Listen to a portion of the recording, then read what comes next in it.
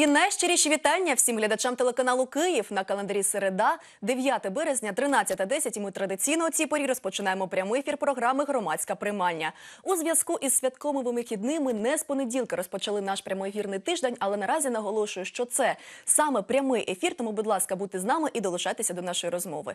Окрім того, що вчора ми святкували міжнародний жіночий день. Наразі у нас у самому розпалі тиждень масляної. Тому всім хочу побажати смачних млинців і якомога швидшого приходу весни. Ну а ми розпочинаємо нашу роботу. Коротко озвучую, які теми будемо обговорювати сьогодні. У другій частині до нас завітає головний лікар Київської міської клінічної лікарні швидкої медичної допомоги. З ними будемо говорити про роботу власне лікарні, а також торкнемося теми загальної хірургії. У третьому блоці корисні поради з дизайнером обговоримо весняні тенденції в одязі. Одразу після новин та новин спорту до нас запитає депутат Київради Юрій Вахель, депутатська фракція Самопоміч. Він член постійної комісії з питань власності, представник округу номер 111. Це у нас Шевченківський район, тому можете вже готувати свої запитання. А вже через кілька секунд юридична консультація на тему гроші у борг, правові наслідки. Бути з нами, ми розпочинаємо.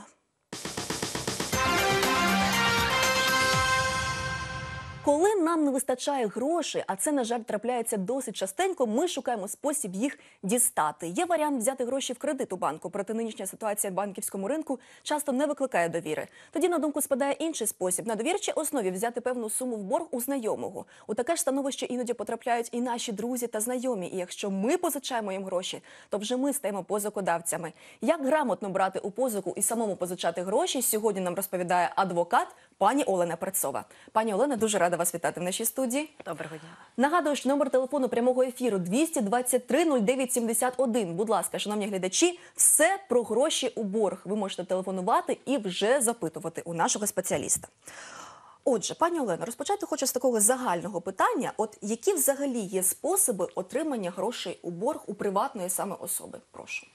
Ну, власне, спосіб у нас один, він традиційний. Це просто взяти гроші в борг. Немає якогось такого складного юридичного механізму, але ми розуміємо, що ми говоримо про позику. Це все-таки в нас не кредит, як в банку.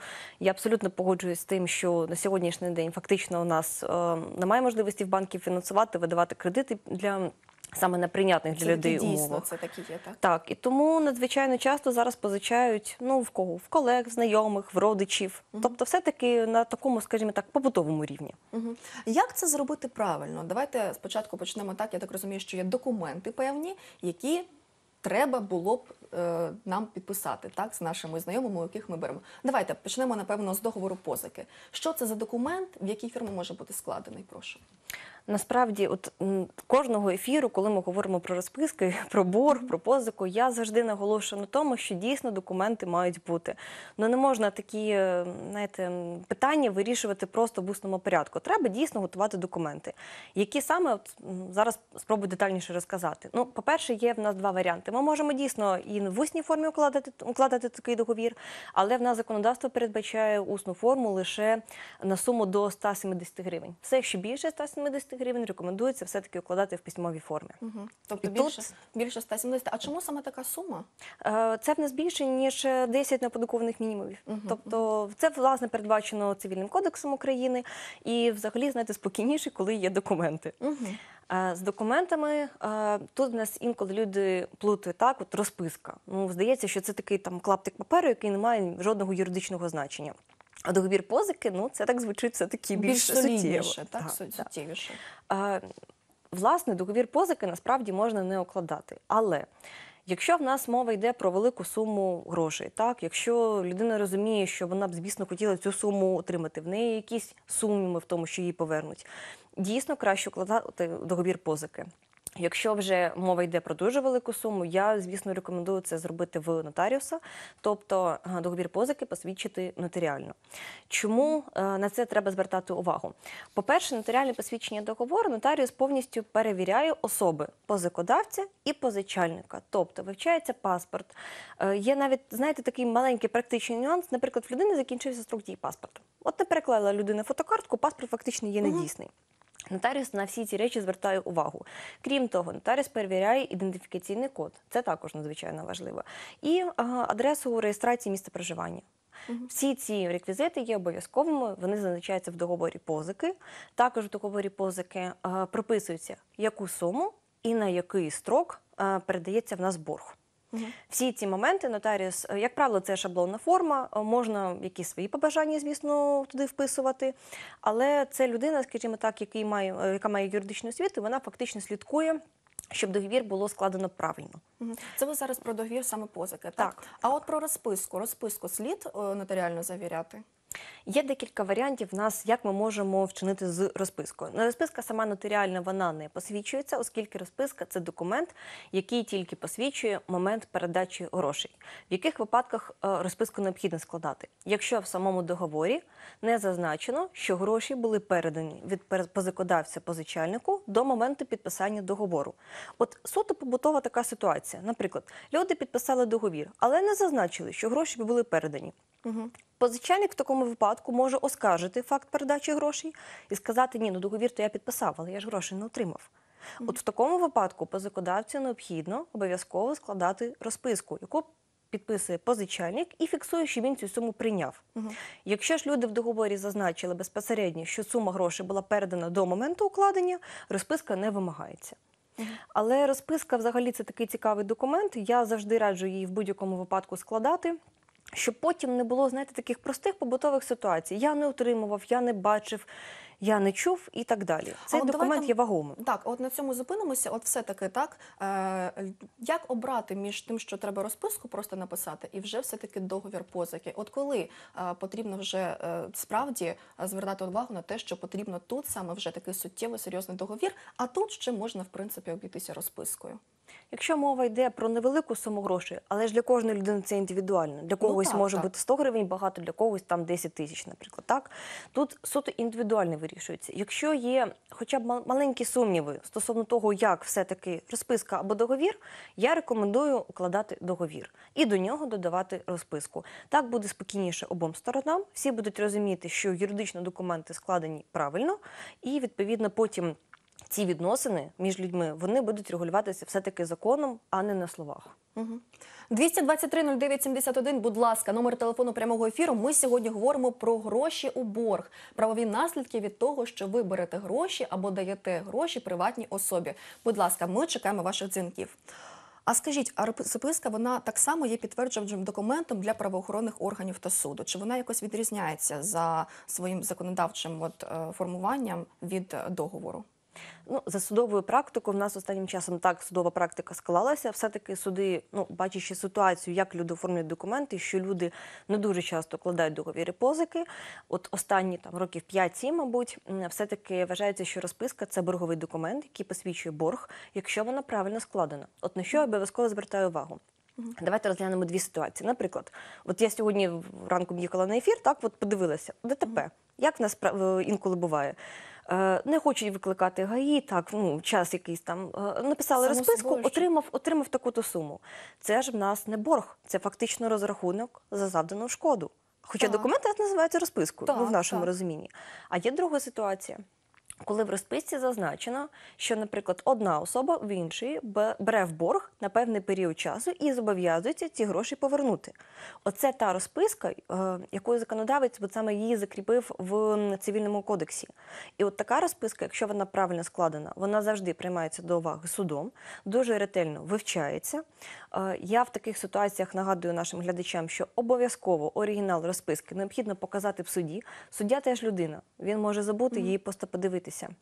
Потім, якщо оригіналу розписки немає в матеріалах справи, це підстава вже оскаржити в апеляційному, в касаційному порядку, в зв'язку з тим, що не було вивчено оригінал документу. Тому, якщо у вас є на руках оригінал розписки, е, я нагадую всім, обов'язково треба його в суді показувати. Е, От, власне, чим ці Так. документи відрізняються. Е, ну, давайте тепер тоді про практичні такі моменти, які відрізняються. От якщо ми говоримо про складання договору позики і складання розписки, чим відрізняється? От е, в якій формі може складений бути договір позики, в якій формі може складений бути договір розписки, і які реквізити треба там і там, і чим вони відрізняються? В принципі, ідеальна розписка, ну в моєму розумінні ідеальна, так вона майже співпадає з договором позики. Така ж офіційна і Е, суттєва. Так? Офіційна, так, вона має бути розписка. Розумієте, я в своїй практиці дуже багато розписок бачила, і коли там е, три слова, ну це не документ.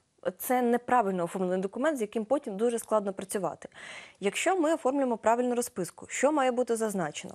Прізвище ім'я по батькові, Адреса реєстрації, і я дуже раджу, якщо людина не добре знайома, навіть якщо добре знайома, перевіряти обов'язково місце реєстрації по паспорту, ідентифікаційний код. Повірте, це надзвичайно потім полегшує роботу із виконавчою службою. Я маю на увазі стосовно боржника.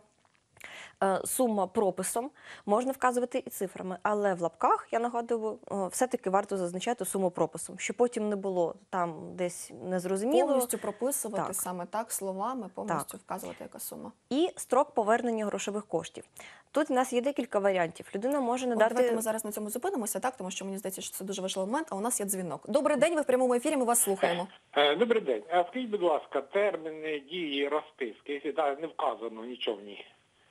Просто що одержав, е, людина одержала кошти і все. Якщо не Є вказано термін. терміну, Дякую. от ми, до речі, про це якраз так, і збиралися строки, говорити. Це строки. Е, Послухайте зараз, якраз будемо про це говорити. Дякую за запитання. Ми чекаємо далі дзвінків 223 09 71. Будь ласка, прошу, проговоримо. Нагадую про гроші у борг. Беремо гроші у борг у приватної особи або даємо гроші у борг приватній особі. Всі питання готові почути. Так. Надзвичайно правильне запитання. Якщо в нас взагалі не вказано строку повернення грошових коштів, то вважається, що позика не закрита. І до моменту вимоги людина має розрахуватися. Як в такому випадку в нас оформлюється вимога? Необхідно просто в письмовому вигляді, можна поштою. Я дуже рекомендую це робити цінним листом з описом вкладення і з підтверджуючим документом про отримання, тобто корінець повертається, просто направити письмову вимогу людині повернути гроші. Е, За таким документом людина має розрахуватися впродовж 30 днів. Якщо впродовж 30, через 30 днів е, позикодавець не отримує своїх грошових коштів, в нас починається перебіг строків позовної давності. Це дуже важливо. Тобто, впродовж трьох років людина має право звернутися до суду і вже в судовому порядку е, ці грошові кошти стягувати. Є інші випадки. Якщо в нас зазначено чітко строк повернення грошових коштів, то от якщо це зобов'язання у строк не виконано, то саме з цього моменту починається перебіг знов таки трирічного строку позивної давності. Тобто є в нас два варіанти. Людина може або передбачити конкретну дату, коли б вона хотіла отримати свої кошти, або ця дата є відкритою. Але в такому випадку, якщо все-таки виникне бажання повернути грошові кошти, необхідно в письмовому вигляді попередити про це позичальника. Мгм. Ну, давайте ми розглянемо оцю ситуацію слухача. Припустімо, якщо він дав гроші у борг, так і у розписці не вказано. Що порадимо йому робити? Який краще з практики варіант? Найкращий варіант це в письмовому вигляді направити вимогу про повернення грошових коштів. Впродовж 30 днів. Так. Так.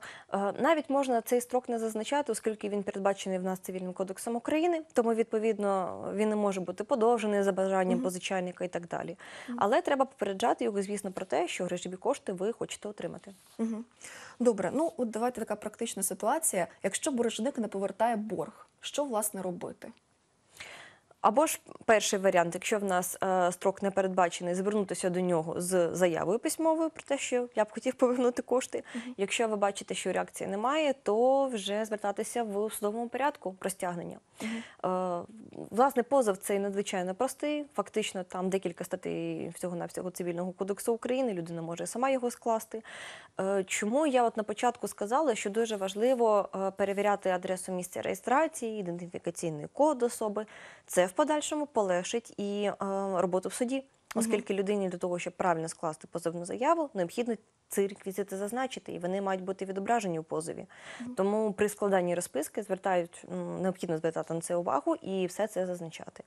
Якщо все-таки в нас людина вирішила звернутися до суду, власне, як я вже сказала, позов надзвичайно простий, сплачується в нас е, судовий збір, і вже суди, в принципі, досить швидко розглядають справу в судовому порядку. Угу. 223 09 71, будь ласка, телефон прямого ефіру. Нагадую, що ми сьогодні говоримо про гроші у борг, про правові наслідки, коли ви надали гроші у борг якійсь приватній особі. Всі питання, як правильно скласти документи при передачі коштів, що не може бути предметом позики, можете всі питання ставити. Ми чекаємо. Так, добре, давайте ми з вами повернемося знову до говору позики і е, до розписки. От якщо от почнемо з самого початку, людина вирішила давати гроші у борг, так і вирішили, що це має бути розписка. Як як її правильно, нам слід одразу йти до нотаріуса або спочатку скласти. От як ця процедура відбувається? Прошу. Власне, це все обговорюється. На практиці все-таки, з- що частіше буває, якщо вже люди вирішили домовитись, так, в них, звісно, є там якась домовленість стосовно строків повернення, валюти, це теж надзвичайно важливо. Так, е, такі всі моменти, проценти, бо людина також має право на отримання. Якщо не зазначає вона про це право, то стягуються в нас в загальному порядку ці проценти, там невеликий в нас розмір. Е, Хтось може там визначити для себе 10%, 20-50%. Це вже домовленість сторін Це все треба прописувати. обов'язково необхідно все зазначати, і власне в цьому нотаріус і може допомогти. Тобто, фактично, він переконується в тому, що сторони добре розуміють, що вони підписують. А якщо в них є якісь запитання, вони можуть нотаріусу їх е, задати.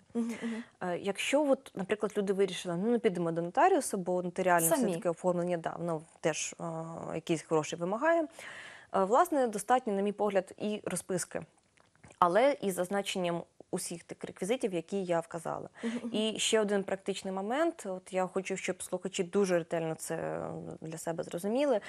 Я все-таки рекомендую всі розписки складати від руки. Чому?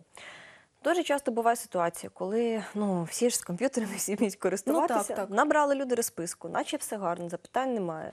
І людина ставить на розписці позичальник маленький підпис. І потім в судовому порядку дуже часто виникають ситуації, коли людина починає говорити: я цей документ не підписував. А підпис він не Підпис не співпадає, так? Може або підпис не співпадати, або для експерта, якщо буде потім призначена почерку значить експертиза, для експерта інколи може бути складно встановити за одним єдиним зразком, так чи це підпис саме людини. Якщо розписка складена позичальником від руки, потім навіть при проведенні експертизи ну, в нього не буде жодних шансів довести. Що він цей документ не складав, не підписував і так далі. Тому що І- його почерк, так? Так, так. І на практиці ці питання дуже часто виникають. Якщо все-таки людина лінується писати, ну хоча б е, написати, е, поставити свій підпис і від руки написати е, прізвище, ім'я по батькові. Для експерта це вже буде вагомий матеріал для того, щоб встановити, чи це людина підписувала, чи ні. У нас є дзвінок. Добрий день, ми вас слухаємо. Добрий день, ми вас слухаємо в прямому ефірі. Немає, зірвався дзвінок. Ми чекаємо далі дзвінків 223 0971. Будь ласка, номер телефону прямого ефіру. Ми говоримо сьогодні про гроші у борг. Ще раз повторюю, гроші у борг, правові наслідки. Як правильно складати документи, всі питання з приводу того, як давати правильну позику, як брати позику, ми готові вас слухати. От дивіться, от я про це до речі хотіла поговорити. А якщо підпис, от е, дійсно людина так хоче ем, реально перевірити, що цей підпис він такий, який має бути. Вон у неї є якісь механізми? Може, вона може вона може паспорт відкрити, подивитися чи якось. Так, необхідно, в принципі, перевірити е, першу сторіночку паспорта, щоб підпис співпадав, але знов таки найкращий варіант це щоб позичальник розписався при е, позикодавці. Якщо це, наприклад, кур'єрами якось передається, отут вже мають виникнути якісь сумніви, що з підписом може бути щось не так. Тому все-таки, якщо в нас передаються гроші, передається розписка, людина ставить підпис, і тоді вже сумнівів ніяких не буде. Угу. А у нас є дзвінок, так?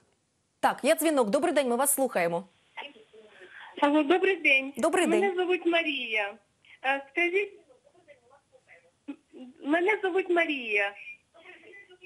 Якщо позичальник грошей переїхав до Киї, до Криму, є розписка про одержання грошей. До Криму. Є Так. розписка про одержання грошей. Чи можливо якось їх повернути? Дякуємо дуже, дякуємо. Але я хочу всім наголосити нашим глядачам, будь ласка, якщо ви з нами починаєте розмовляти, одразу відходьте від телевізора для того, щоб ви слухали саме нас по телефону, а не телевізор, коли будете там телефонувати. Ми далі чекаємо ваших дзвінків 223 0971, номер телефону прямого ефіру. Будь ласка, прошу, чекаємо дзвінків. Так, На дуже жаль, цікаве питання. складна ситуація тут в даному випадку, оскільки в нас на сьогоднішній день ну, треба говорити об'єктивно, немає взаємодії між Україною і Росією так стосовно Криму. І відповідно, якщо в нас е, позичальника він переїхав до Росії, то фактично нема з кого стягувати. Так, так. І в цьому питанні е, Україна, хоча й вважає Крим своїм, Росія вважає Крим своїм. Отут от питання юридичного супроводу цього питання воно до сих пір не вирішено. Ем, Що робити тоді порадимо? Фактично, якщо в людини немає на місці от, е, в нашого позичальника нерухомості або іншого майна на території України, то, на мій погляд, тут вже стягнути кошти буде майже неможливо, оскільки немає до кого пред'являти позов. Є інший варіант, е, що необхідно зробити. Якщо, наприклад, людина е, переїхала, але є якісь відомості про те, що в неї на території України є якесь майно, і, наприклад, є ще зареєстроване місце проживання в Україні. Ну, наприклад, людина український паспорт лишила тут, в Росії оформила в Криму вже оформила російський паспорт. Я б все одно порадила звернутися до суду. І суд вже робить запит до адресного бюро і перевіряє місце реєстрації. Е, Відсутність людини на території материкової от частині України вона не перешкоджає судовому розгляду справи. Відповідно, цей судовий розгляд може відбуватися і заочно. Просто, наприклад, людина двічі не з'являється до суду, і суд без виклику відповідача розглядає справу. Але для того, щоб зрозуміти, чи потрібен таки, чи потрібно реалізовувати такий варіант, необхідно е, спершу з'ясувати, чи є в людини хоч якесь майно, щоб На це не території був України. так, щоб це не був процес заради процесу. У нас є дзвінок. Добрий день, ми вас слухаємо. Добрий день. Добрий мене звати Леонід. Я хотів запитати, якщо людина мене просить е, якісь кошти, і вона зазначує в розписці е, під заставу, може, е, там майно або е, землю якусь біля е, будинку, можна е, в такому випадку е, писати розписку і давати гроші. Павло дуже дякую за запитання. Дякуємо дуже, дякуємо. Це настільки практичне запитання, бо дуже Життєве, часто так? життєве, абсолютно. Категорично не можна. Чому? Бо це якраз той варіант, коли в нас договір позики має бути посвідчений нотаріально, і договір застави так само може має бути посвідчений нотаріально. От розписка на заставу вона розповсюджуватися вже не буде. Чому застава? Передбачає внесення відповідних записів до реєстру обтяжень для того, щоб е, от наш додзвонювач міг реально потім, не боже, складеться ситуація, коли він отримає свої гроші, щоб він міг стягнути предмет застави, необхідно, щоб це було відображено в нотаріальних реєстрах. Обов'язково. Тому, якщо все-таки мова йде про заставу, обов'язково це той випадок, коли треба йти до нотаріуса в письмовому нотаріальному вигляді, посвідчувати договір позики. І окремо складати договір застави. Тоді е, позикодавець буде в нас е, повністю убезпечений від будь-яких дій.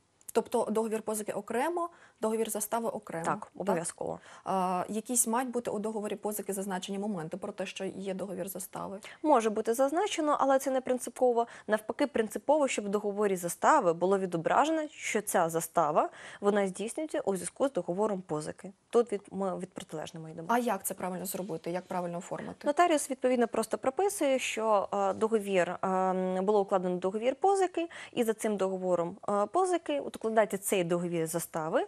Предметом застави виступає таке те майно. Ну, як правило, це в нас або дійсно земельна ділянка, або це в нас дуже часто бувають автомобілі. Е, і е, всі ці моменти просто відображую, повний опис робить майна. І тоді в нас вже позакодавець він убезпечений від того, щоб е, в подальшому ніхто не оскаржував. Е, Чим ця ситуація просто може бути негативна, якщо не укладати такий договір застави? В суді, навіть от професійний суддя, вони все добре ну, життєво вони ситуацію дуже добре розуміють. Але суддя не зможе стягнути цей предмет застави, оскільки застава для неї передбачено окремий обов'язковий нотаріальний порядок. Якщо цей нотаріальний порядок не витриманий, то фактично оцей договір застави, який вкладається в розписку, він є недійсним. Недійсним. Так. 223 09 71, номер телефону прямого ефіру. Будь ласка, ми вас слухаємо. Чекаємо ваших дзвінків по темі гроші у борг, правові наслідки. А є щось, що, що не можна брати під заставу? Під заставу в нас це ті речі, які виключені з цивільного обігу, ну, наприклад, зброя, як варіант. Не можна. Так, так. Е, взагалі, ну, предметами застави класично, так, це в нас що є? Це в нас нерухомість, не знаю, там квартира, будинок, е, земля і рухоме майно. е, Це в нас, як правило, або автомобілі, або предмети розкоші. Це можуть бути ювелірні прикраси, картини і так далі. Але знов таки, от з цим я раджу не гратися, особливо з ювелірними прикрасами. Чому надзвичайно складно їх описати в договорі застави, як в такому. Тобто ці такі от маленькі дрібні речі, це надзвичайно складно відслідкувати в подальшому навіть їх рух. Ніщо не заважає заставодавцю їх продати і потім шукає вітру в полі. Тобто це обтяження воно не буде працювати. Угу. Добре, але таке питання: от якщо вже пішли до суду після того, як е, виявилося, що боржник не хоче віддавати кошти, так і виявилося, що юридично у нього немає ніяких ні коштів, ні майна. Що тоді будемо робити? Власне, зробити тут вже нічого не можна буде, оскільки людина після суду, я маю на увазі позакодавець, звернеться в нас до виконавчої служби. Виконавча служба відкриває виконавче провадження, здійснює розшук майна. І якщо впродовж року це майно не віднайдено, тобто взагалі на людині нічого немає, е, і при цьому, наприклад, людина ще й не працює, тобто не можна робити відрахування з її заробітної плати, то фактично виконавче провадження в нас закривається. Е, Ці нюанси треба заздалегідь проговорювати до того, як даєте гроші в борг, для того, щоб переконатися, чи може людина покрити е, це боргове зобов'язання, чи людина просто ви розумієте, що вона фактично свідомо йде на аферу і в неї просто не буде потім як розраховуватись. У нас є дзвінок. Добрий день. Ми вас слухаємо. Ви у прямому ефірі.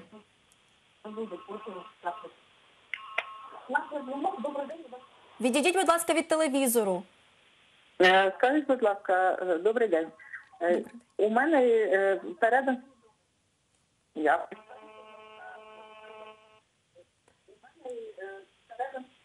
Передано до е, е, в мене є попередній договір завдатку на придбання квартири. Я передала агенції тисячу доларів завдатку. Вони якби для себе взяли ці гроші для придбання мені квартири. Ну квартиру я не придбала і гроші вони мені не повернули, бо були сумнівні документи. Е, Можете мені порекомендувати, куди мені звернути, щоб повернули мені кошти? У вас є якісь питання? Може, до додзвонювача? Власне, ні. Це Дякуємо. Дуже зроз- зрозуміло, але дуже прошу, все-таки у нас тема гроші у борг приватним особам. Ми відповімо, звичайно, тому що все-таки е, гроші у борг це також є тема наша. Але, будь ласка, ми все-таки говоримо про те, що гроші у борг ми даємо приватним особам і так само беремо гроші у борг у приватних осіб.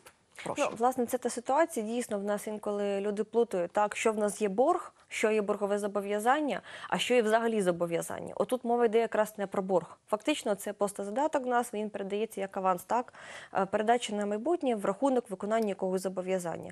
Тут треба просто пам'ятати, що якщо в нас е, грошові кошти не якщо, наприклад, людина відмовляється від е, за попереднім договором від купівлі-продажу, завдаток він не повертається. А от якщо, наприклад, відмовиться сторона, яка взяла цей завдаток, то вона повинна повернути його в подвійному розмірі. Тобто в даному випадку треба просто розібратися, хто саме відмовився від ем, е, укладення основного договору. Якщо це був наш додзвонювач, то гроші повернути немає підстав. Якщо відмовилася протилежна сторона, то вона повинна повернути подвійний розмір. Знов таки необхідно в кожному окремому випадку ретельно вивчати документи. І я всім нашим глядачам дуже раджу в цих ситуаціях. Коли в нас мова йде про завдаток, про аванс, дуже ретельно читати, які договори ви підписуєте, і які є наслідки неповернення, невчинення якихось там дій. Тобто, в принципі, я так розумію правильно, що щодо додзвонювачки за законом, якщо а, ну, вона вже може і не повернути цей, тобто немає підстав для того, щоб їй повертали ці гроші. За Якщо вона відмовилася від укладення основного договору, то так. Якщо відмовилася інша сторона, то вона має повернути в подвійному розмірі. Угу. Добрий день, у нас є дзвінок, ми вас слухаємо. Зірвався Мабуть, ми вже відповіли на запитання. Напевно, запитання на запитання вже відповіли, але все одно ми далі чекаємо ваших дзвінків. 223 09 71. Будь ласка, прошу. Нагадую ще раз тему гроші у борг, правові наслідки. Все, що ви хочете дізнатися про гроші у борг, про те, як правильно складати договір позики, про те, як правильно складати розписку, і про все все ми сьогодні говоримо і чекаємо ваших дзвінків. Отже, давайте ми перейдемо до штрафних санкцій. А ні, ще я у вас таке хотіла запитати. Дивіться, от е, якщо немає юридично ні майна, ні коштів, так от ви кажете, що взагалі в принципі немає вже можливості. Так ми можемо подати, наприклад, в міліцію е, там заяву про це, що це шахрайство, тому що от ви зазначили, що це може бути як шахрайство розцінене. Це може призвести до якихось наслідків? Насправді в 95, мабуть, відсотках ситуацій ні. Міліція дуже не любить в нас порушувати справи за статтею шахрайство 190 стаття. Е, Чому? Надзвичайно складно довести. Це дуже тонка грань між злочином і між цивільно-правовим зобов'язанням. Ну, наприклад.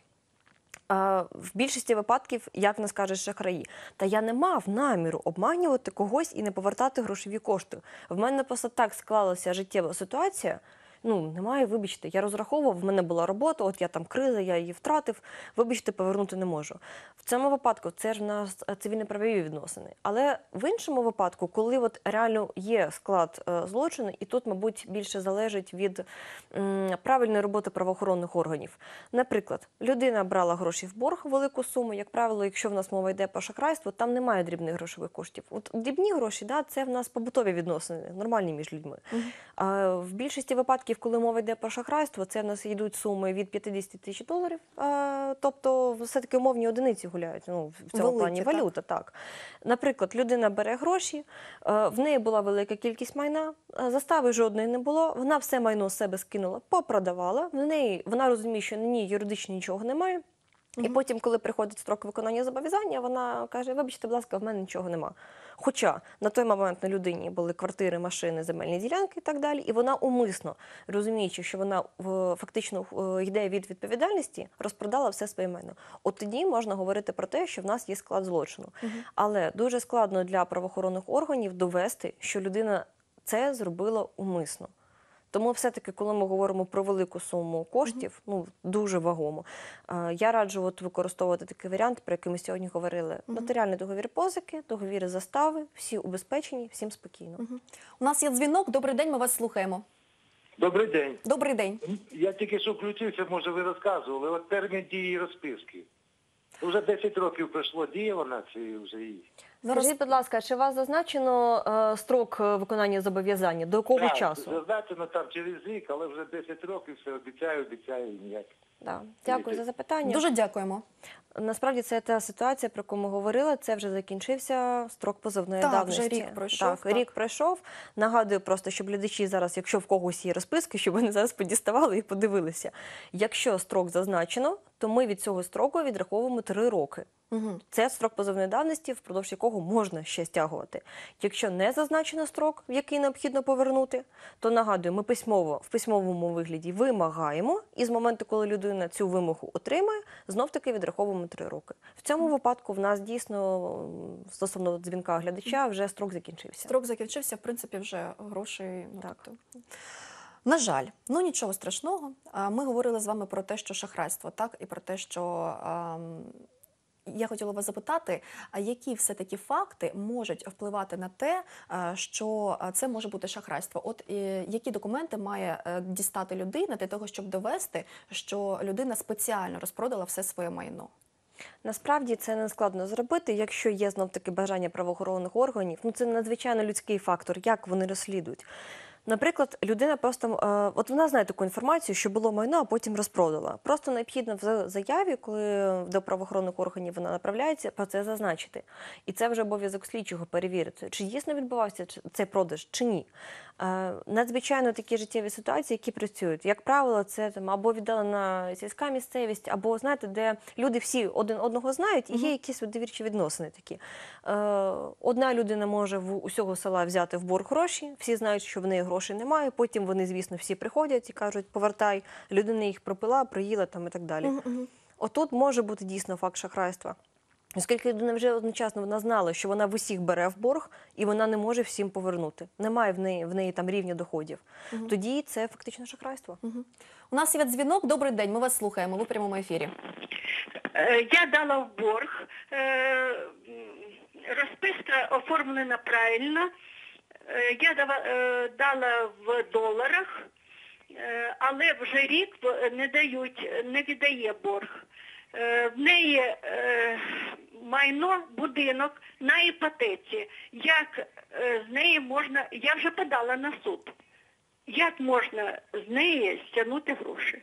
Одну секунду зачекайте. У вас є запитання? Так, скажіть, будь ласка, а судовий розгляд вже завершився, чи ще справа Ні, назначили через місяць. Через місяць? Так, Так. дякую за запитання. Дуже дякуємо. Чекаємо ще дзвінків. Можемо прийняти 223 09 71. Прошу. Насправді все зробили правильно, до суду звернулися, ну процедура вже розпочалася. Я е, нашому глядачу нагадую обов'язково, навіть якщо суддя не запитає, я все таки раджу показати оригінал е, розписки в суді, щоб її дослідили. І потім вже відповідно буде судове рішення на користь е, нашого глядача. І через виконавчу службу необхідно стягувати майно, яке є, або грошові кошти. Тут ситуація чим складніша. Якщо є будинок, якщо це єдине майно, і він знаходиться в іпотеці, то пріоритетне право. Є, я так розумію, якщо в нас іпотека, то є банк, е, який е, отримував іпотеку. Пріоритет е, за цим майном має банк.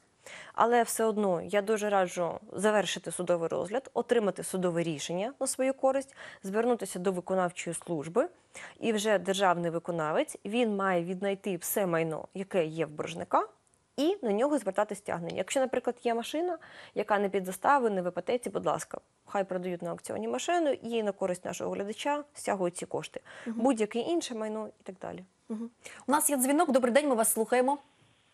Я хотіла спитати, от розписка схематически, буквально в двух словах. Я такой-то, такой-то, одалживаю деньги такому-то, идентификацию. Просто повторить. Еще у меня такой вопрос. Вот я слышала, что есть статья, я бы хотела узнать, какая, когда э, ис- э, завладение чужими коштами э, путем использования доверия и служебного положения.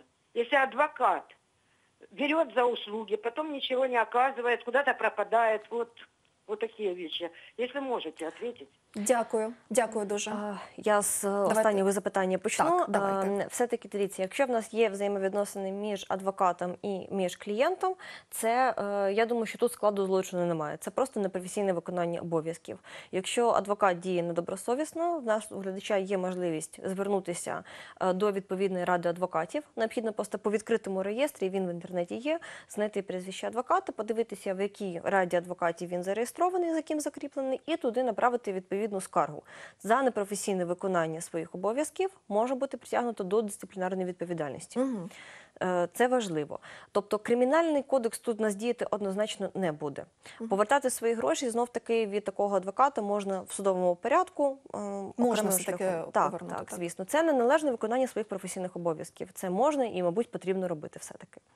Стосовно реквізитів, я просто дуже коротко нагадаю. Так, так. Ви я так розумію, що глядачки просто було з приводу тексту, як взагалі писати Так. цю розписку. Так, ну от розкажіть Ну, просто. Умовно кажучи, під запис можна так.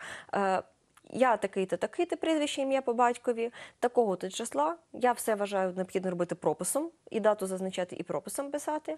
Е, взяв в борг у такого-то, такого-то прізвище, ім'я по батькові, е, таку-то суму грошей цифрами і прописом. Зобов'язуюсь повернути грошові кошти в повному обсязі до такого-то числа, знов таки прописом. І обов'язково при цьому зазначити реквізити сторін. З однієї сторони позикодавця, це в нас е, в даному випадку глядача нашого, так, адреса реєстрації, ідентифікаційний е, номер. Можна ще засоби зв'язку вказати, мобільний телефон, е, підпис, прізвище ім'я по батькові. Так само зі сторони е, позичальника. Обов'язково перевірити паспортні дані, щоб він правильно їх зазначив, і в розписці просто що було зазначено. Прізвище ім'я по батькові, ідентифікаційний номер, адреса місця реєстрації і бажано ще мобільний телефон. Дякую дуже. У нас є ще дзвінок. Добрий день, ви в прямому ефірі. Алло, Добрий день, ми вас слухаємо. алло, доброго дня. Е, е, мені весь час йдуть листи від одної фірми, е, пишуть, що я позичав у них гроші. Я ніяких грошей не позичав і з цієї фірми ніякого не брав. Вони пишуть, прийде якийсь судовий е, опис майна і так далі. і так далі. Що мені робити?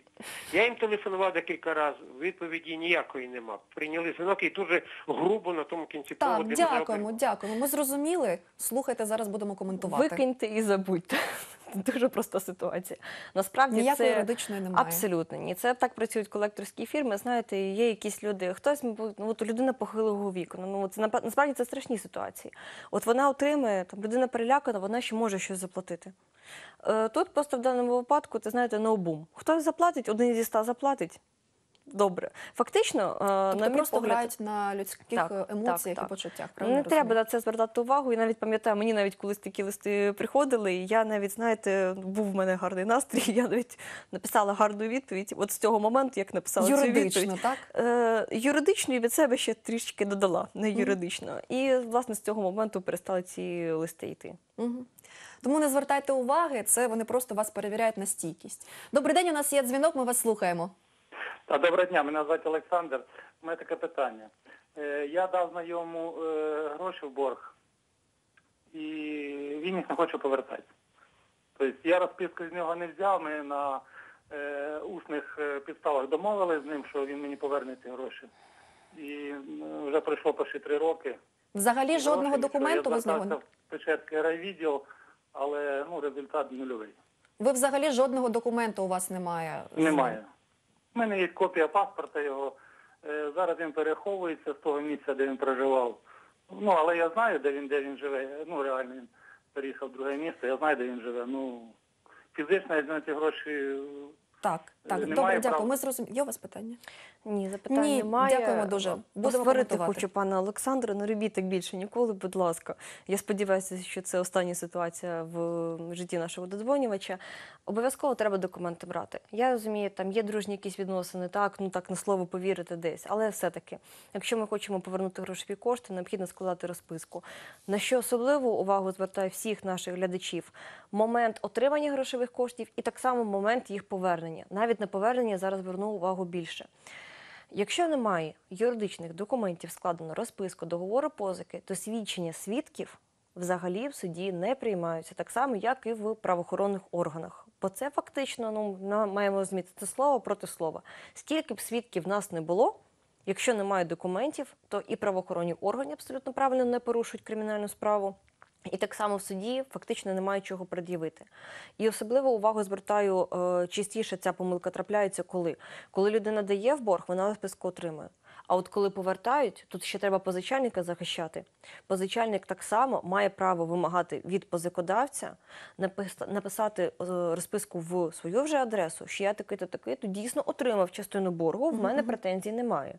Бо якщо повернення грошових коштів іде в усному порядку, то недобросовісний позикодавець так само може потім говорити: а мені гроші не повернули, я пішов в суд. І він буде юридично правий. Тому звертаю увагу, зворотні розписки обов'язково треба писати, або взагалі як варіант забирати оригінал своєї розписки, і на ньому, на цьому оригіналі, нехай на звороті е, Вказувати. щоб зазначив. Претензій немає, такого-то числа отримав повну суму грошей. Тоді запитань не буде. Мгм. Ну, дружні стосунки дружніми стосунками, але Так. все одно треба все робити за юридичними правилами. Пані Олено, я вам дуже вдячна за сьогоднішню нашу розмову. Я нагадую, що в першій частині нас консультувала адвокат пані Олена Працова. Наразі ми завершимо першу частину юридичну консультацію і крокуємо далі до порад лікаря. За кілька хвилин будемо говорити про діяльність Київської міської клінічної лікарні швидкої медичної допомоги. А також з головним лікарем цієї лікарні будемо торкатися питань загальної хірургії. Повернемось дуже скоро. Не перемикайтесь.